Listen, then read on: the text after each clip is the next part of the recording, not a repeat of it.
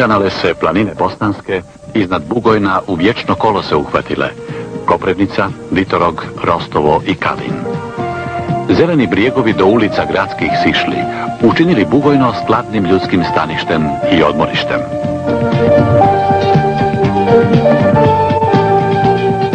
Gradili ljudi svoja staništa pored putova i saobraćajnica i uvijek su sretljivi bili. Pa i danas, kada putnik namjernik svrati do Bugojna na putu za jug ili sjever, zapad ili istok. Svejedno odakle dolazio, jer svi putevi vode u Bugojno i iz Bugojna. Ovdašnji ljudi, manirom dobrih domaćina, ponudit će putniku kafu, a uz nju, po ovdašnjem običaju, zametne se priča. A ona duga, beskrajna, stoljetna.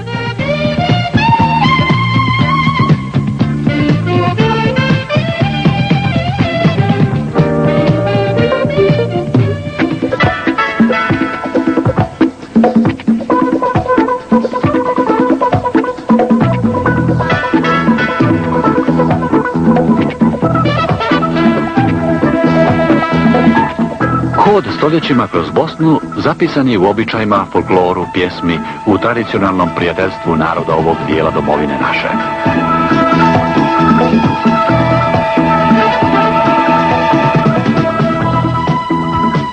Od davnina naselja utemeljena. Brojni su tragovi koji govore o dugoj istoriji ovoga kraja i Liri i Rimljani ovdje boravili. Ratovi kroz stoljeća vođeni. Kraj mijenjao svoje gospodare. Hroničari zapisali da je 1694. Bakuf podignut i u njemu Ahmet Pašina džamija. Uz džamiju se razgranale mahale, a u mahalama trgovine i zanati. Bili su to temelji Bugojna, koje gradsko obilježje dobija poslije 1866. nakon rekonstrukcije postojećeg puta prema Donjem Bakufu i izgradnje novog puta prema Kupresu.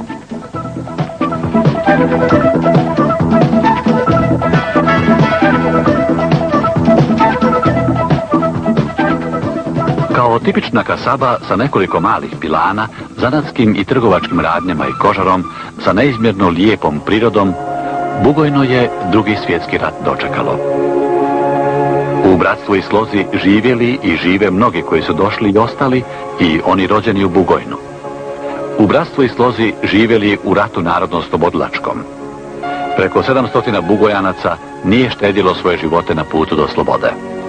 Savremenici današnjeg Bugojna, generacije iz vremena rata, ponosni koje sugrađane poginule u vrijeme narodno-slobodilačkog rata na narodne heroje Mahmuta Bušetliju, Stipu Đereka i Vojna Paleksića.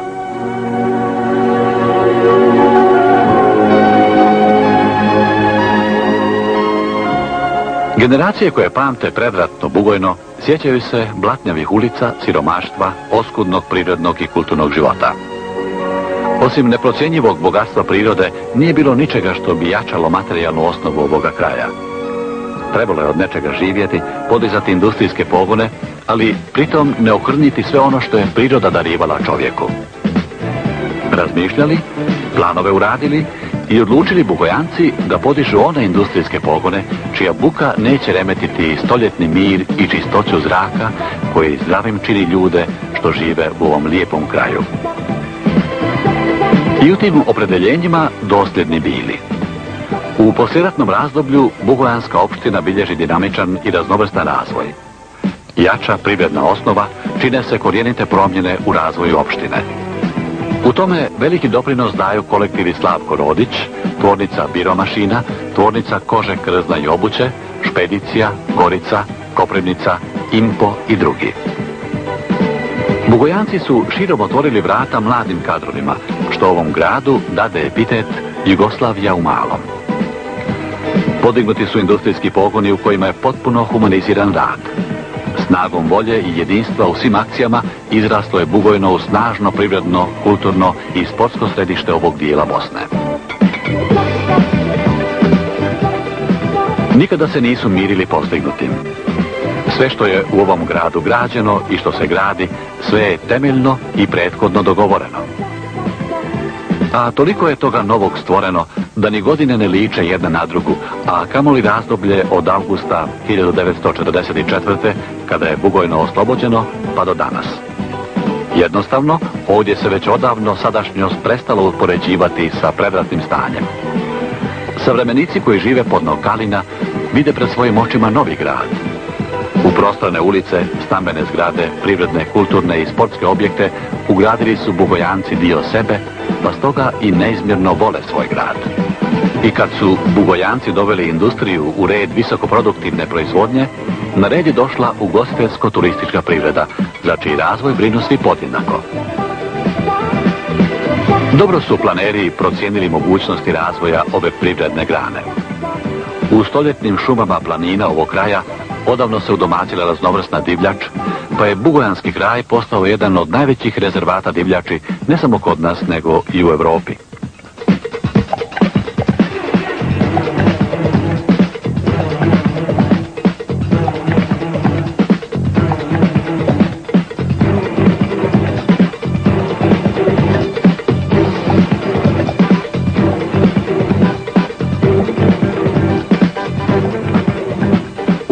Vrbasu i njegovim pritokama, Bistričkoj rijeci i Dubokoj, Pastrmka i Lipljan pravi su izazov za ribolovce. Rostovo će uskoro izrasti u jedan od naših najljepših zimskih sportsko-rekreativnih centara. A u gradu već ranije stvoreni uslovi za organizovanje najvećih kulturnih i sportskih manifestacija. Još 1978. na svom prvom susretu u Bugojnu Svjetski velikani drevne šahovske igre u ovom gradu su otkrili oazu tišine i ljepotu prirode kako se samo poželjeti može. Domaćini su šahistima ukazali veliko gostoprimstvo, a oni zbog toga i izvanrednih uslova izrekoše riječi divljenja. Šahovski svijet mora biti ponosan što postoji Bugojno. Ponosni su Bugojanci što je njihov grad postao svjetska šahovska metropola. Sretni su što žive u ovom lijepom gradu preko koga vode putevi od Sarajeva i Zenice, Zagreba, Banja Luke i Jajca prema Kupresu i Livnu do Splita, preko Gornjeg Vakufa do Mostara i Dubrovnika. Stoga Bugojanci sa krajnjom odgovornošću prilaze razvoju ugostiteljstva i turizma u svom kraju.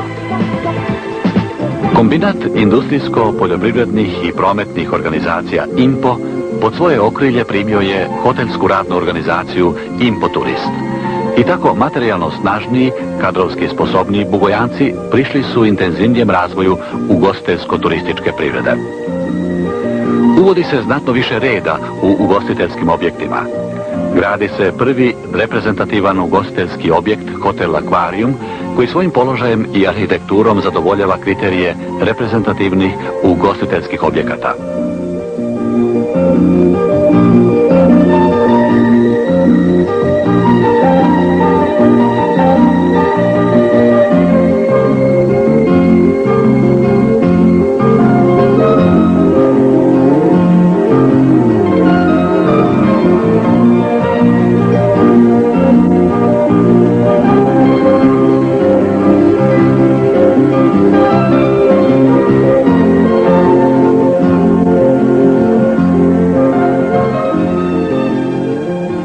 110 kreveta smještenih u komfortnim sobama, brojnim sadržajima, besprijekornom uslugom i bogatom kuhinjom, akvarijum postaje privlačan za brojne domaće i inozemne turiste.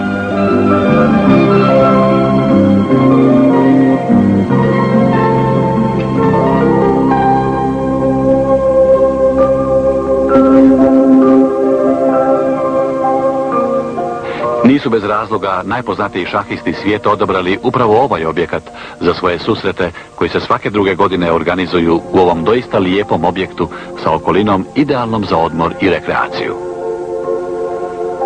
Dobar glas daleko se čuje, a iz daleka i brojna priznanja stigla osoblju ovog hotela. Jer boravak u akvarijumu, makoliko god on dugo trajao, ostaje nezaboravan. Svaki gost iz zemlje ili inostranstva koji je boravio u ovom hotelu ostaje podgrijan željom za ponovnim dolaskom.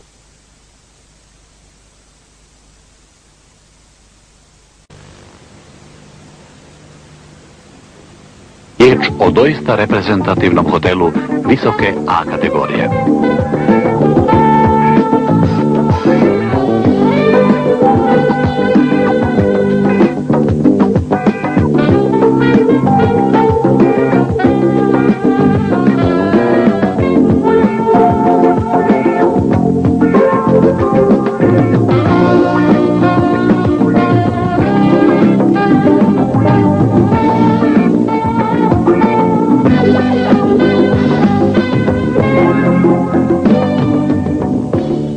Restoranu koji zrači toplinom u ugodnom ambijentu prostor je za 180 gostiju.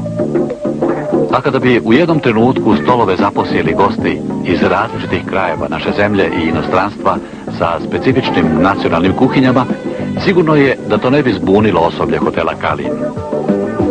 Uz sposobnost da zadovolje i takve goste, osoblje hotela Kalin sposobno je da ponudi raznovrsnu trpezu i za najveće gurmane. Sve samo specialiteti. Hadžijski ćevap, bosanski lonac, dagarica, plata bugojanska, plata kalina. A tek u susjednom lovačkom salonu gdje se nude lovački specijaliteti.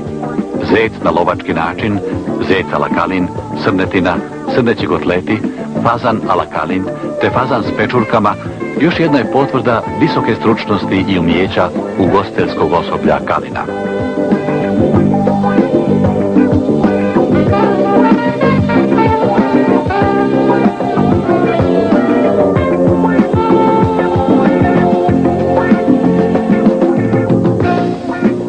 Uz restoran i lovački salon tu je i banket sala za 70 gostiju. I ovdje je ambijent kakav se samo poželjeti može. Prijatno je sate odmora provesti i u kafani koja raspolaže sa 180 stolica.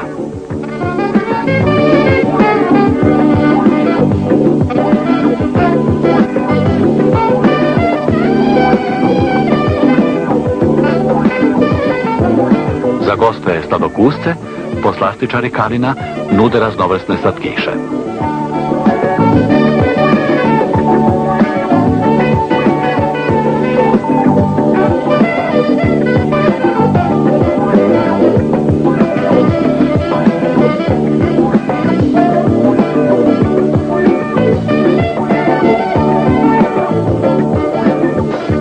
Najzad evo nas u umjetničkoj galeriji.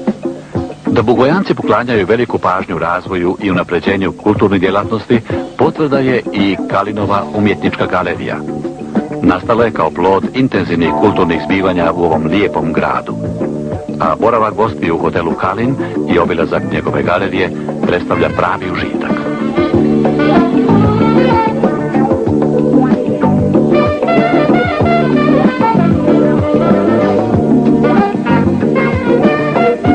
Svakom od ponuđenih prostora prilika je za potpuno zadovoljstvo gostiju, baš kao i na terasi koji je prosto obgrlio prelijepi Bugojanski park.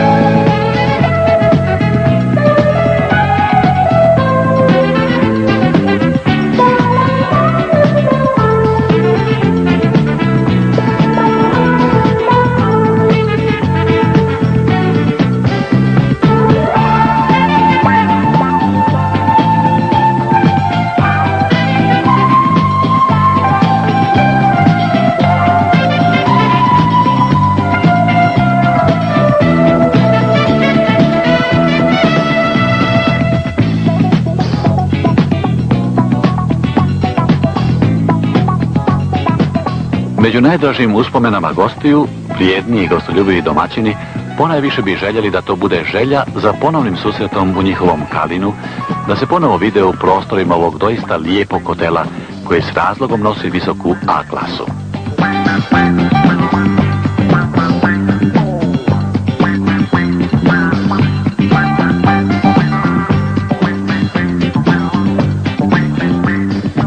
Tradicionalnoj turističkoj akciji koju svake godine organizuje oslobođenje pod nazivom Ispit iz gostoprimstva, visoko priznanje Bronzani cvijet, iako je radio tek šest mjeseci, dobio je kolektiv hotela Kalin za sezonu 1984. godine. Ljepšu i bolju, u svakom pogledu poticajniju nagradu mlado osoblje Kalina nije ni moglo poželjeti. Bronzani svijet došao je u prave ruke. Pa da mogu i žele još više učiniti u pružanju usluga turistima i poslovnim ljudima koji dolaze u njihov grad, osoblje Kalina i akvarijuma i svi ostali zaposleni u Info turistu uvjerava njihova spremnost da gostima ponude odlazak u lov i ribolov, na izlete i piknike u prirodi, posjet okolnim mjestima i brojnim kulturno-istorijskim spomenicima, Rostovu, jednom od budućih centara za zimske sportove.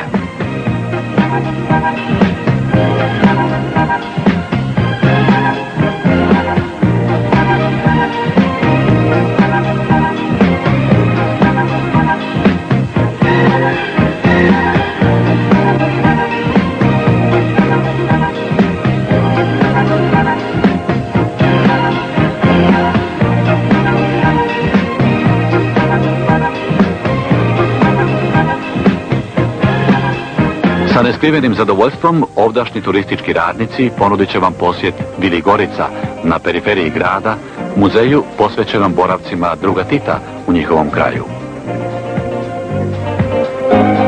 Posjeta Bugojnu prilika je za odmor.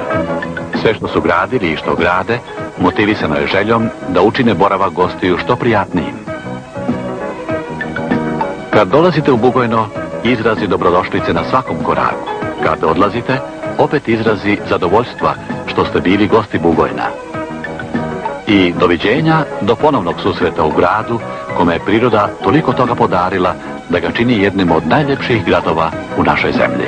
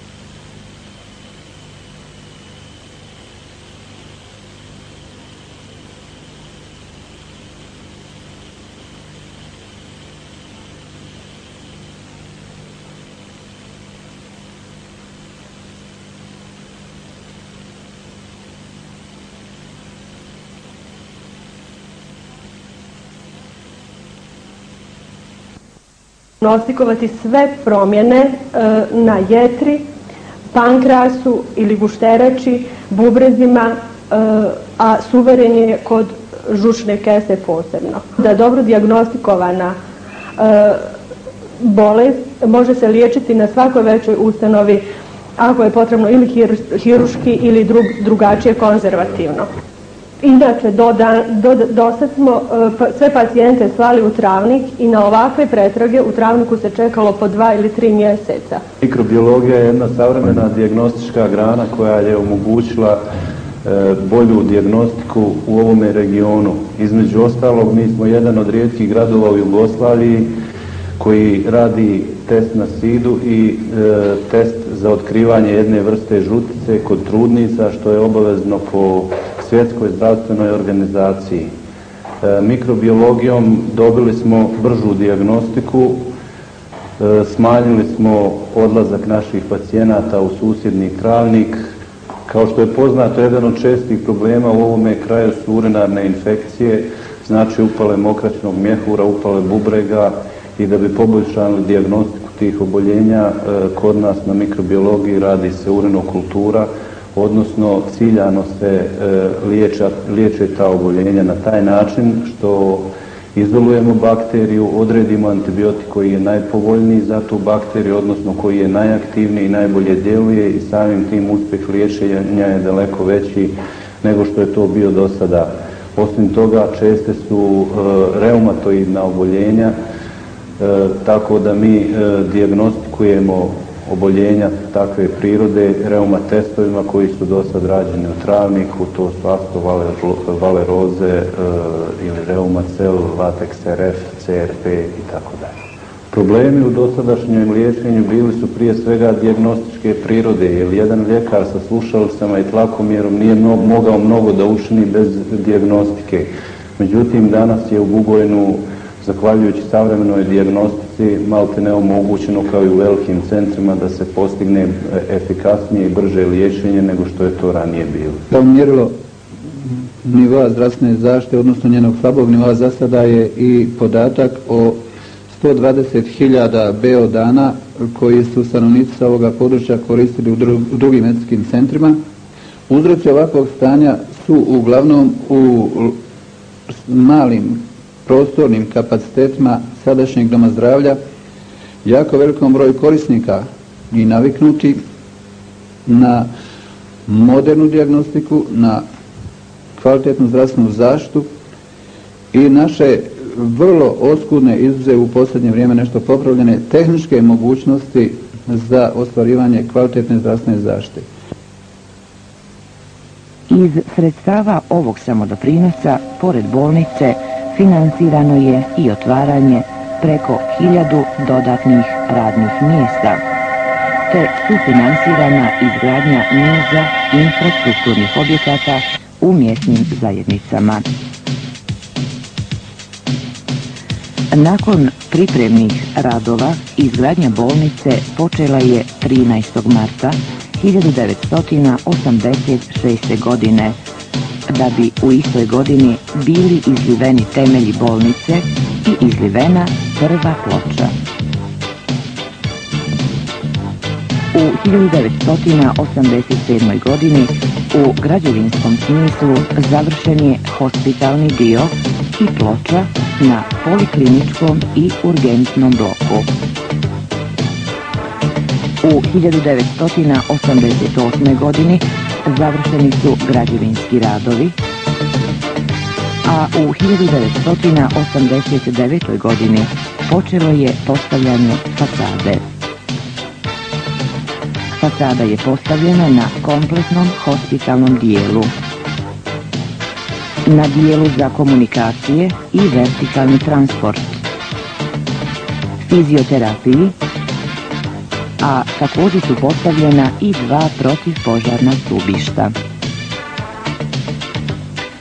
O veličini urađenog posla govori nekoliko podataka. Iskopano je preko 45.000 metara kubnih zemlje. U bolnicu je ugrađeno 14.600 metara kubnih betona. Milion 320 hiljada kilograma armaturnog željeza i 200 hiljada kilograma čelika.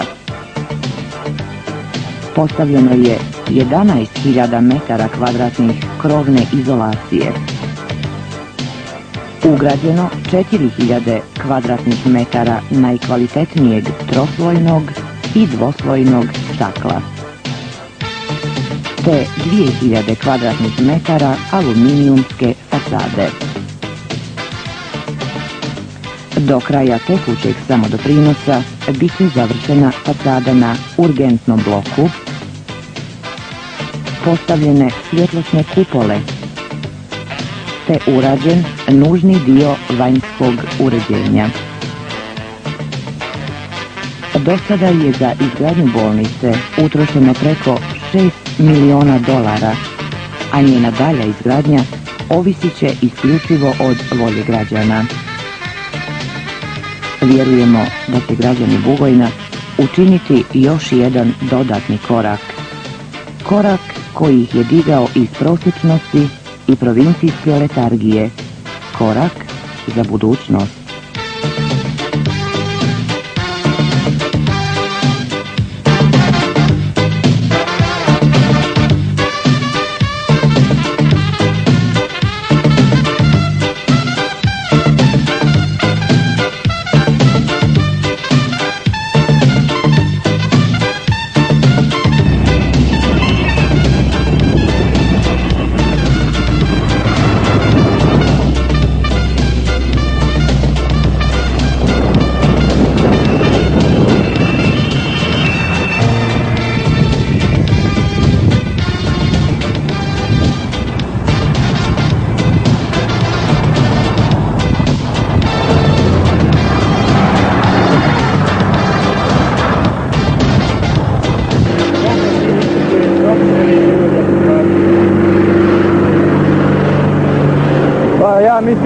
Rizikujem ponekad i 100%.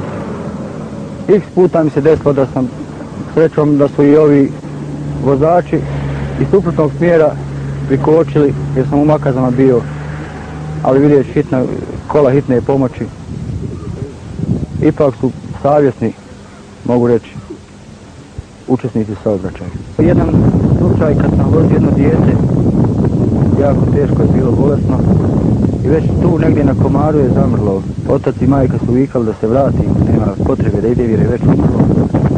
Međutim nisam pristao na to, misle da još nije se desilo da mi je neko umro u autu do tada, pa sam još brže požurio u Utravnik da bi došao.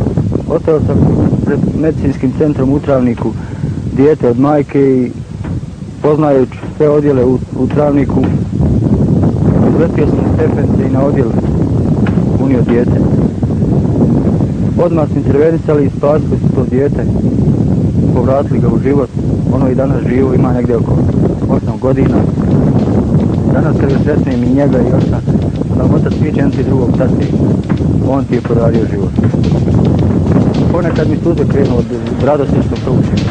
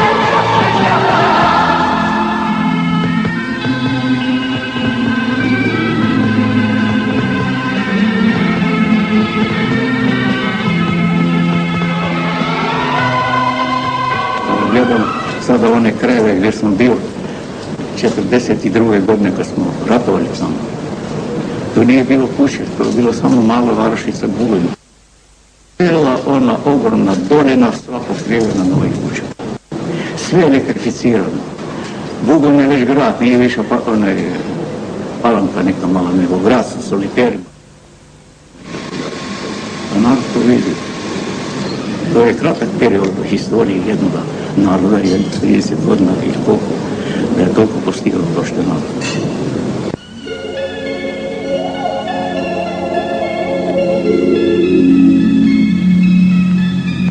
Bili su ovo riječi našeg prvog i najdražeg sugrađana svjetske istorije druga Tita. Tih aprilskih dana 1977. godine one su posebno gordo zvučale u domovima Bogojanaca, ispunjavajući ponosom i poletom srca svih nas. Bili smo ponosni jer smo u svakom našem susretu sa Titom imali šta da pokažemo, što smo postigli i radili. I Titove riječi kada je zadnji put odlazio iz Bugojna, sada kada odlazimo ostavljamo vam sunce, ostaće u trajnom sjećanju svima nama. Sljedeći put i sunce koje nam je ostavio, mi smo danas još snažniji i jači, gordi i ponosni.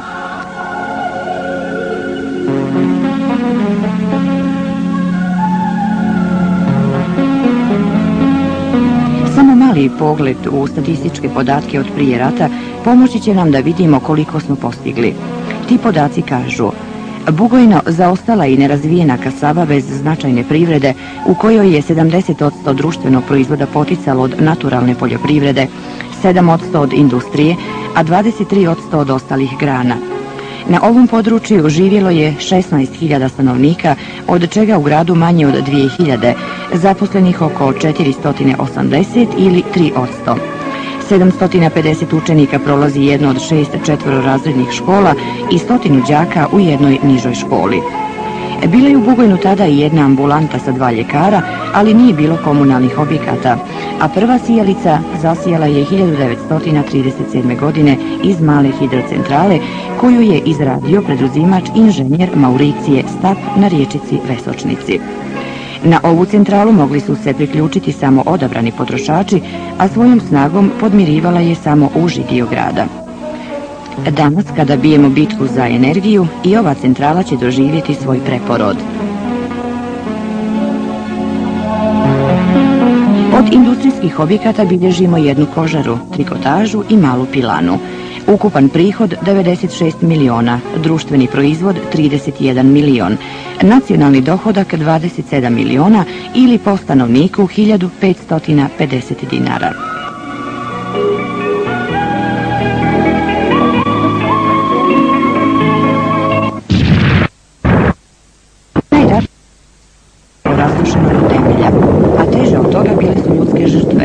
zato je slobodi u njemu naročito cijena porasla poslije rata.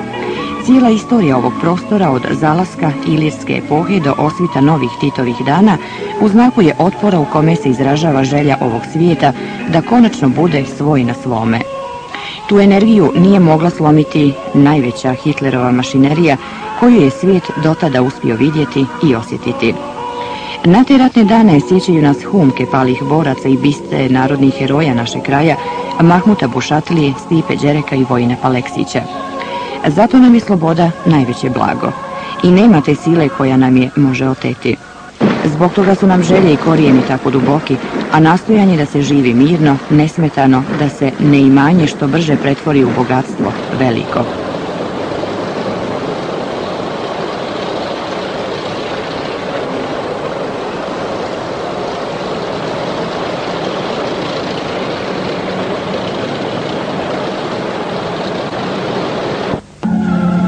Ovo je Bugojno danas.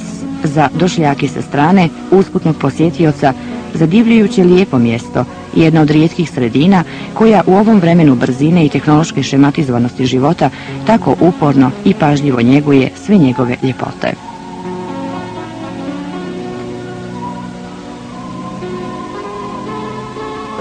Pa ja sam u Bugojnu bila dosta puta i čini mi se da se Bugojno razvilo nekako odjedno. To mi se naročito sviđa Mislim, ima dosta ovih, e, za mlade ima dosta, čini mi se, objekata u kojima oni provode svoje slobodno vrijeme. Bila sam baš u tom domu kulture koji mi se veoma sviđa. Zatim sportski centar je tu isto blizu. A evo i posjetili smo baš ovaj, ovu vilu Gorica i zavidim Bugojancima što im je baš Tito ovdje dolazio i što je baš tu bio. A ujedno mi je i drago što smo nekako što smo komšije i što je Tito bio i blizu Livna tu. Mogu reći da mi je ovdje lijepo je, super. Danas smo u posjeti Bugojnu, polaznici omladinske političke škole iz Livna. E, ovo su učenici škole Silvije Strahimir Krančević u Livnu.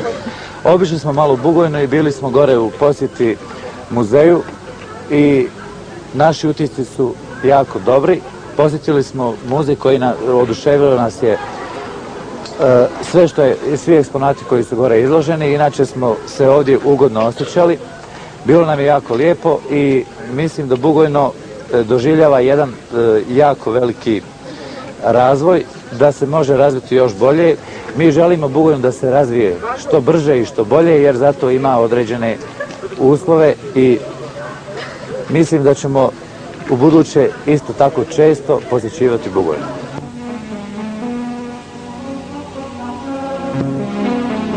Za nas koji znamo uz kakva samodricanja se gradilo i gradi sve što ovdje postoji, velika je cijena svakog novog stana, svakog novo otvorenog radnog mjesta, svakog kilometra izgrađenog asfaltnog puta, puta do svake mjesne zajednice, svakog zasađenog bora. Za nas koji znamo kako i koliko je bilo zgarište na koje su kročili sloboda i mir, sve ima veću cijenu, veću vrijednost i značaj.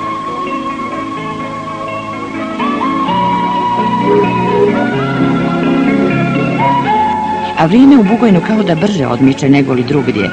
Danas smo jedna od najrazvijenijih opština u Socijalističkoj republici Bosni i Hercegovini sa jakom privredom u kojoj dominira metalna industrija, a i ostale oblasti su također dobro razvijene. Šumarstvo, trgovina, građevinarstvo, poljoprivreda, školstvo, komunalna infrastruktura, zdravstvo. Ponosom se ističu podaci na kraju svake godine, pri čemu se uvijek bilježi dinamičan rast industrijske proizvodnje, što je svakako uslovljeno porastom zaposlenosti, boljim korištenjem proizvodnih kapaciteta i izgradnjom novih, te porastom produktivnosti rada, što je doprinijelo porastu realizacije proizvoda i usluga, kao i u prometu robe.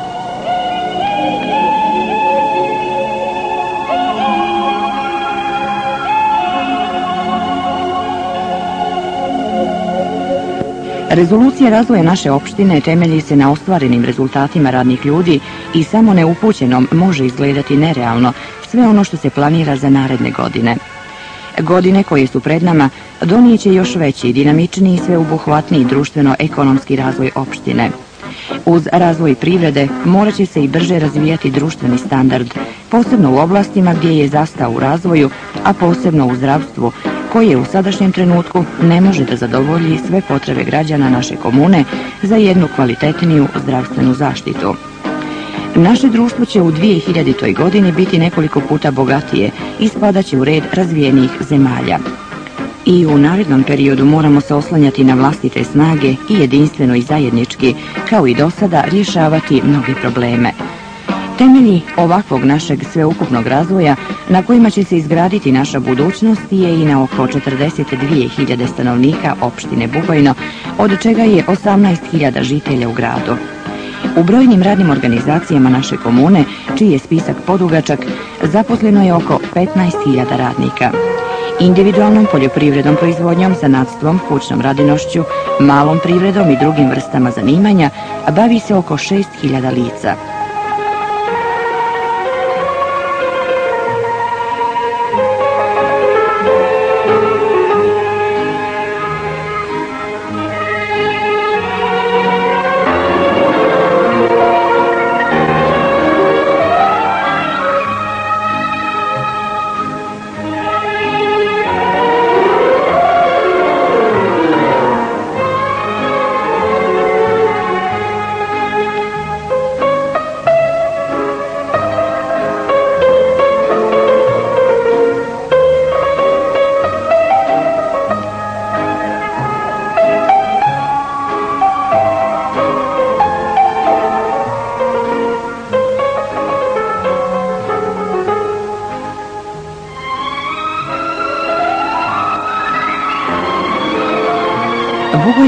Grad mladosti i mladih. U takvom Bugojnu vizija budućnosti je jasna, kao što je jasna i ova priča o Bugojnu i njenim žiteljima.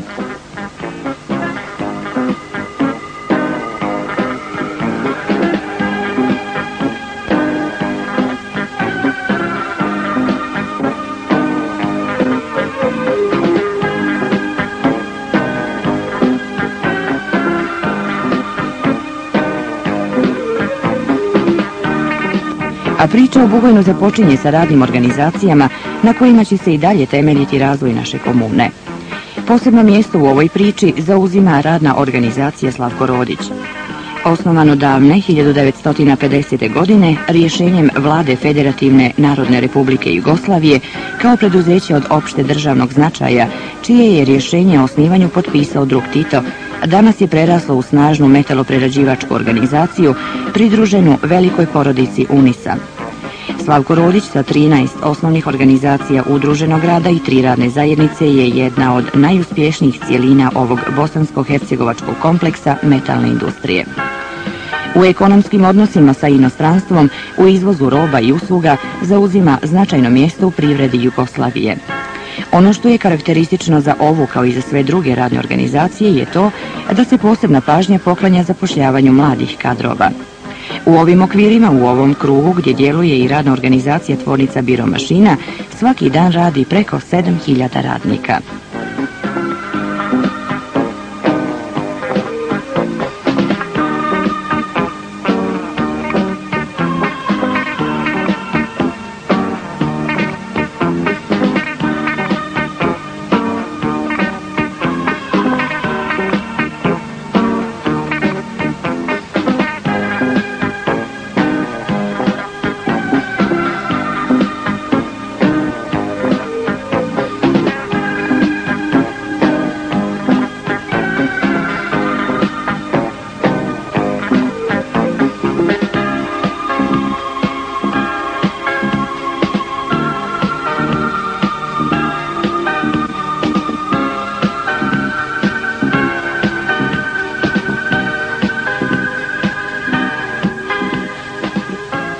Bugojanski gigant na točkovima je autotransportna radna organizacija Špedicija. Nema kraja u Jugoslaviji gdje nećete sresti bugojanske špeditere. Kada se započinjalo sa dvije konjske zaprege, ni sanjati se nije moglo da će se vozilima špedicije krstariti drumovima Europe, bliskog i dalekog istoka i dalje. Danas je to stvarnost, činjenica. Ogroman vozni park, iskusni i obučeni vozači u stanju su prevući najveće i najraznovrsnije terete u bilo koji kraj zemlje, svijeta. Maksimalnim zalaganjem uspjeli su otkloniti brojne poteškoće koje su pratile ovakve radne organizacije u našoj zemlji. Sa špedicijom brojna mjesta naše komune i šire postala su bliža Bugojnu, a radnim ljudima iz mjesnih zajednica omogućila da do radnih mjesta dođu brže i na vrijeme.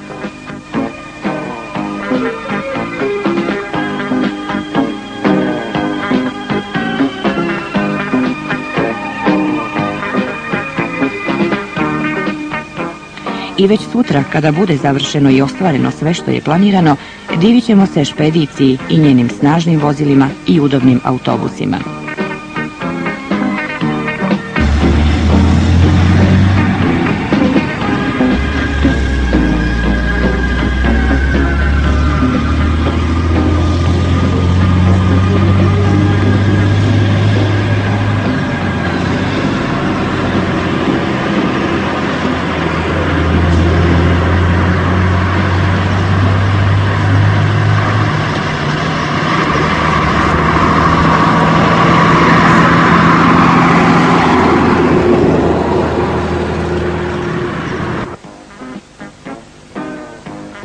I priča o borcu u tvornici kože i obuće Bugojno je slična. Započelo se skromno, vodenica i primitivna prerada kože. Danas se s ponosom mogu svakome pokazati proizvodna postrojenja, proizvodne hale.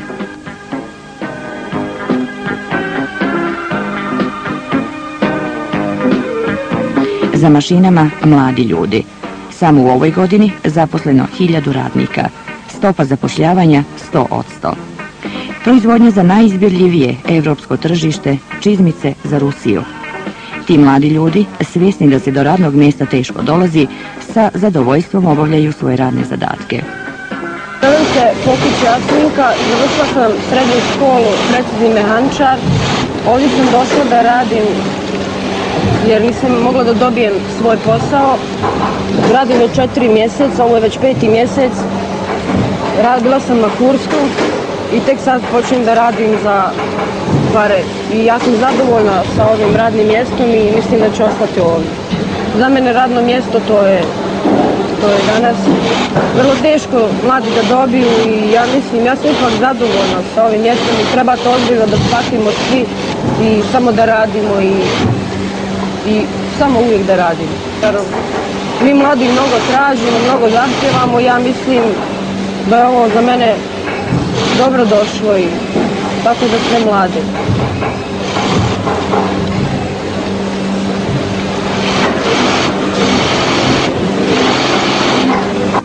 To su te savremene hale tvornice kože i obuće Bugojn u kojima, ponovo ističemo, radi preko 2000 radnika.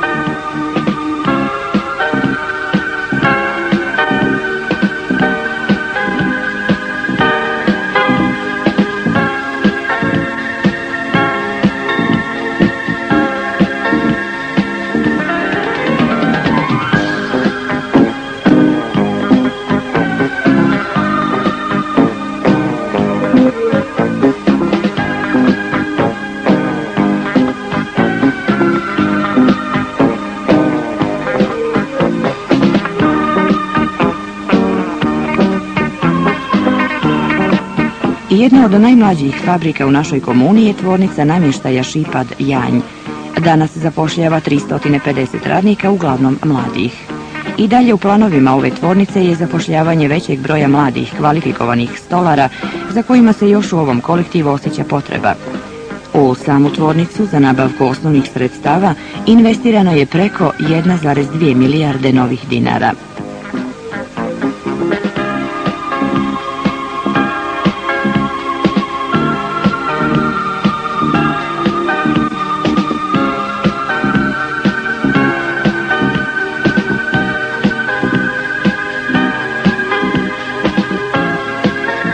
Za namještaj od bijelog bora, onakav kakav se ovdje proizvodi, kupce i na najstrožijem zapadnoevropskom tržištu nije bilo teško naći. Od ukupne proizvodnje 80% odlazi na ovo tržište. Jedan dio putuje preko okeana na američko tržište. Putuju finalni proizvodi naše borovine, a nekada su putovali samo trupci. Za sve nas to je velika pobjeda, veliki uspjeh. I naš domaći kupac sve više ukrašava domove i društvene objekte namještajem iz ove tvornice.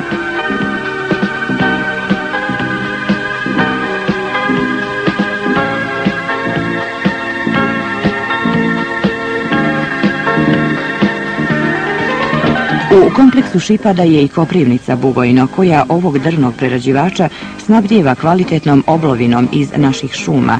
Da bi se došlo i do najudaljenijih šumskih bogatstava, zaposleni u ovoj radnoj organizaciji svojim teškim mašinama izgradili su kilometre šumskih puteva, tako da sada i do najudaljenijih radilišta Nikolin potok stižu sve vrste vozila.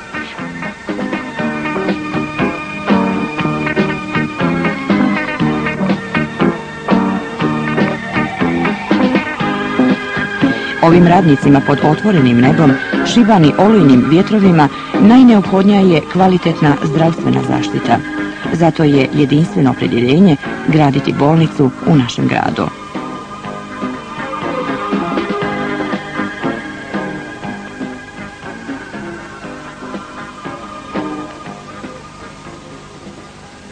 Ma nije, nije nam dobro raditi, koliko smo izloženi ovih vremenu, moramo raditi kad je nevreme i kad je vrijeme i taka je naša, taki je naš posao, taka je naš obavez. Mi smo zato, mi smo svi zato da se napravi bolnica.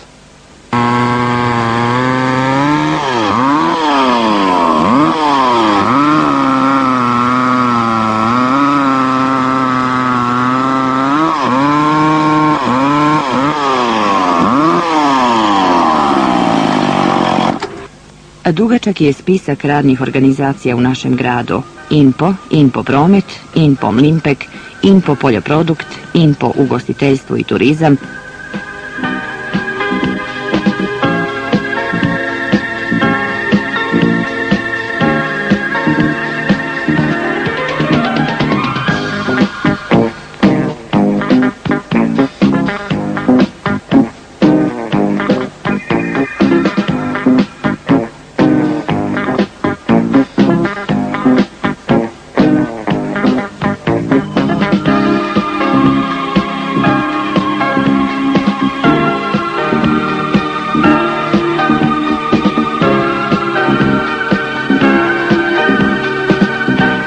Neimari našeg grada, radna organizacija Gorica Bugojno i niz drugih zacrtanih šemom našeg društveno-ekonomskog razvoja.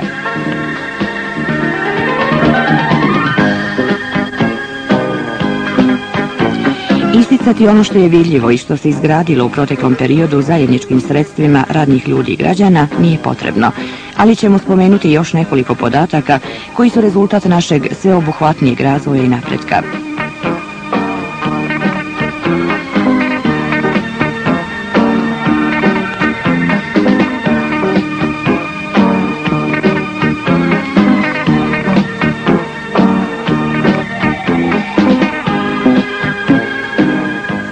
Osnovne škole, šest osmorazrednih i devet četvororazrednih, pohađa 6700 učenika, a srednje dvije, 2540. Na višim školama i fakultetima studira oko 700 studenata,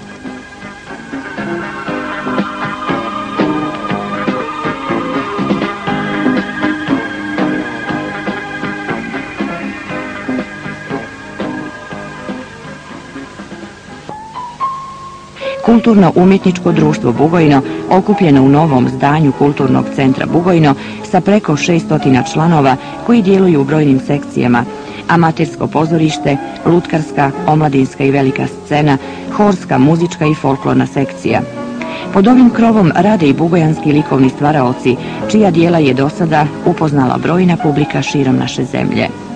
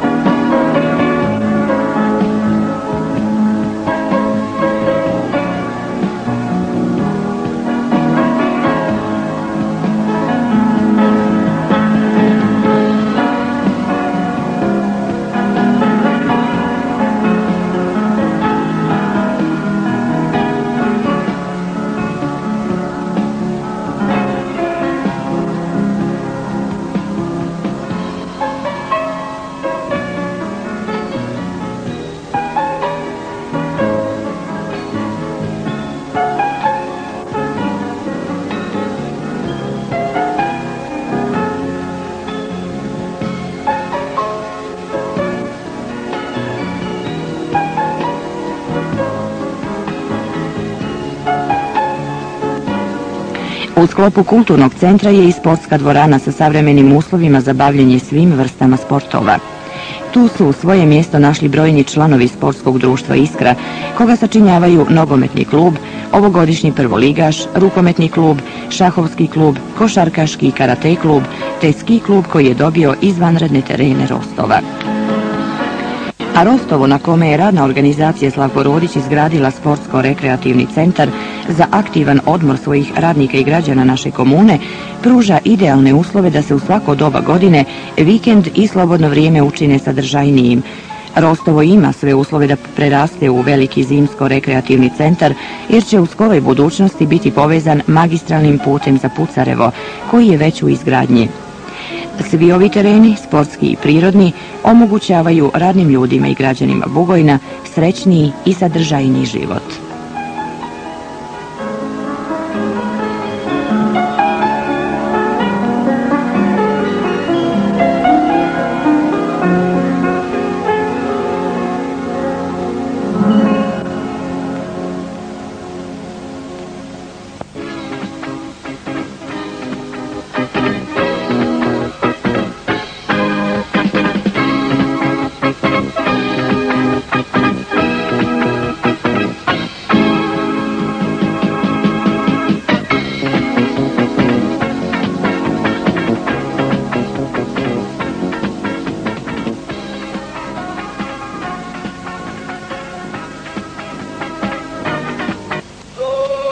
Uporedo sa razvojem našeg grada tekao je i razvoj mjesnih zajednica.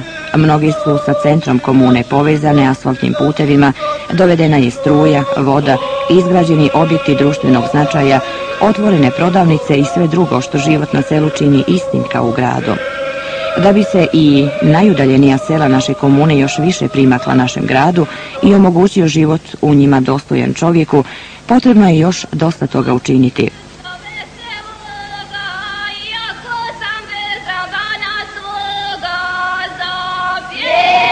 Ovo su zlokuće. Na domovima ovih ljudi još nema električne mreže. I ovdje mora da prosvijetli, kako to oni često ističu, jer je u toku akcija za uvođenje električne struje u svako domaćinstvo ovog kraja na padinama Rudine. Živjeti sa fenjerom davno smo zaboravili, ali ovim ljudima je to jedina svjetlost u dugim zimskim noćima. Zato je i obaveza svih nas da i ovdje odakle na naše pijace stižu najkvalitetniji sir i drugi proizvodi kućne radinosti, ne imanje zamijenimo blagostanjem. Učinit ćemo to ovog juna 85. godine.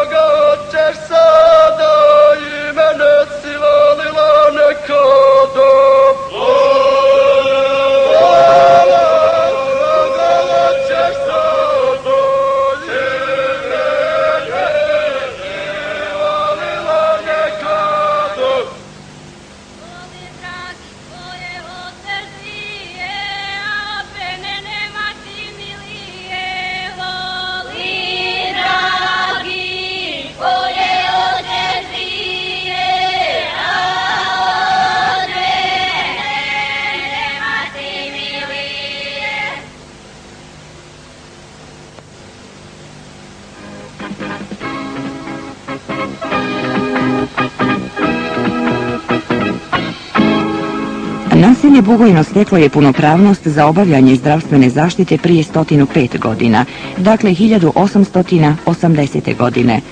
Te godine u ovom malom skopaljskom gradiću radio je prvi ljekar koji je za obavljanje poslova imao pogodnu stručnu spremu. Zanimljivo je još i to da je prva prostorija za zdravstvenu zaštitu u Bugojnu izgrađena 1914. godine. Bila je to zgrada opštinske ambulante, a dosta kasnije, 1939. godine, otvorena je i ambulanta za suzbijanje endemskog sifilisa. Niz zaraznih bolesti unosio je patničke smrti u narod. Da bi spasili svoje živote i živote svoje djece, Ljudi su, priča se, znali se sklanjati u doline ispod stožera i ne vraćati se dok se zaraze ne bi umanjile ili prošle. Danas kada nam je potrebna efikasna i brza zdravstvena zaštita, u vremenu brzine i narasle tehnologije, gradnja medicinskog centra u Bugojnu je životna potreba. Za nju smo se opredijelili i ranije. Opredijelili smo se i 1980. godine, kada je bio zaveden drugi po redu samodoprinos. Zbog niza okolnosti izgradnja nije započela. Sada kada je pribavljena sva dokumentacija i obezbijeđen jedan dio sredstava, odlučili smo se za izgradnju medicinskog centra, čiju maketu sada vidite.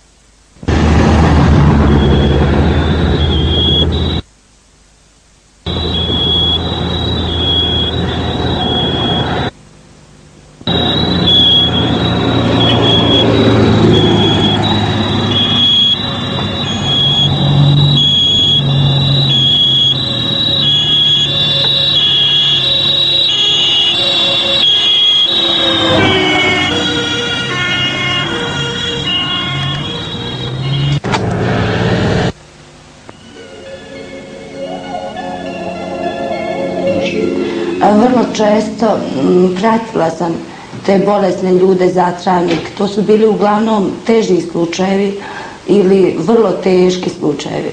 Nekad su se te pratnje završavale onako bezuspješno i tragično za samog bolesnika, a nekad je prošlo sve u redu. Onaj, svaka pratnja na mene ostavi jedan ovako, e, mm, jedan stravičan dojam. E, Na mene je strašan dojam ostavilo ranjavanje jednog čovjeka motornom pilom. Bio je praznik, prvi maj, mislim 84. godine, praznično, svi smo došli praznično i radno pomalo na posao. Bilo je 9 sati ujutru kad su nam uveli čovjeka omotanog oko glave čebetom, čebe je bilo natopljeno krvlju.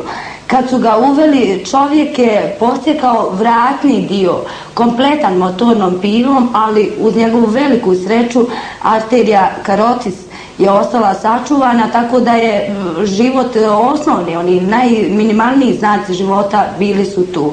Normalno, takvom jednom čovjeku mogli smo pružiti e, dio pomoći koji smo naravno i uradili. E, zaustavili smo ona m, krvarenja koja su tog trena bila naj, najobilnija. Preveli smo to gazama uz onu digitalnu kompresiju. Jedino tako smo mogli zaustaviti krvarenje, a to vam je svojim rukama čuvati nježno, lagano tu arteriju onaj povrijeđenu, ali ne tako čvrsto, jer je tu negdje grkan, ugušli bi takvog čovjeka. E, to je bilo ovako jedan e, među težim slučajevima gdje je život čovjeka davno bio izgubljen, ali kažem sreća je u tom da je arterija ta bila sačuvana. Normalno naše auto i ja s njima u pratnji uz sve nekakve napore, reći ću da i ovdje vozač saniteta i svi mi uz najneophodniju pruženu pomoć u stanici hitne pomoći i u pratnju stigli smo za nekih 15 minuta u travnik. Koliko je slučaj bio hitan, ja ću vama reći da smo par puta doživljavali i sami mogli biti žrtve nezgoda na putu do travnika.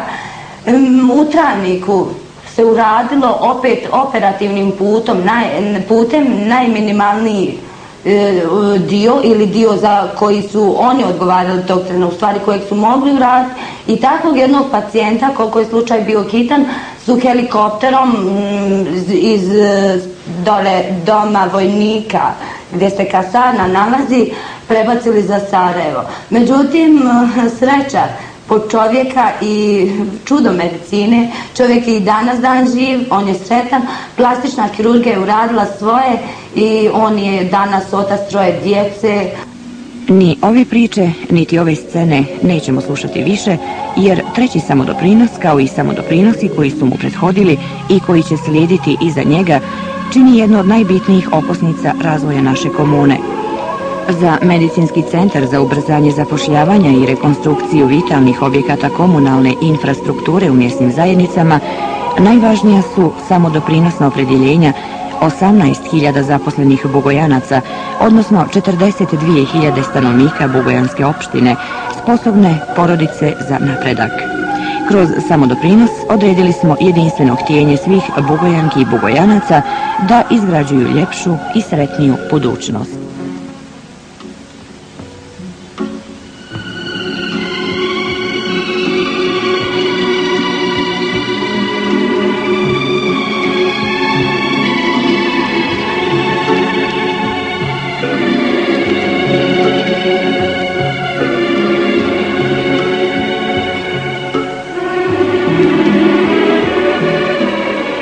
Bukte nebesa nad našim naseljima, nad kućama, zgradama, neboderima. Prozore otvaramo za svako proljeće, za noviju nadu, bremenitu, kremenitu, iskoru, rumensvitu, samokatitu. Pjevaju u zboru rada u orkestru slobode naselja oko Gračanice, Ođaka, Zlavasti i Goruše, Vrbanje i Kandije, Crniča i Glavica, Vesele i Kule, Čipuljića i Vučipolja, Luga iz Jameta, Kopčića i Rosulja i svih drugih mjesta slivova slobode i stranica knjiga.